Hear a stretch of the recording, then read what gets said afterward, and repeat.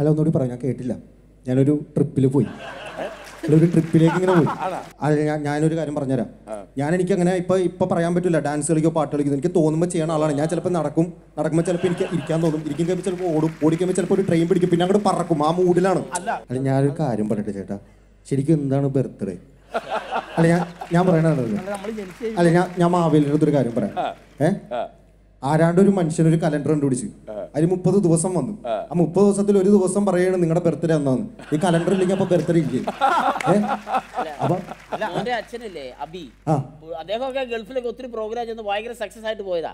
അപ്പൊ മോൻ വരിക എന്ന് പറയുമ്പോഴത്തേനും ഞങ്ങൾ മലയാളികൾക്കൊക്കെ ഭയങ്കര സന്തോഷമായിരിക്കും. അപ്പൊ മോന്റെ സിനിമകൾ കണ്ട് ആരാധകർക്ക് ഭയങ്കര ഇഷ്ടമാണ് പ്രതീക്ഷയുണ്ട് മോനെ. അപ്പൊ മോൻ അവിടെ വന്നു കഴിഞ്ഞാൽ ഒരു രണ്ടുപേര് പാട്ടൊക്കെ പാടിയാലേ എന്താ കുഴപ്പം?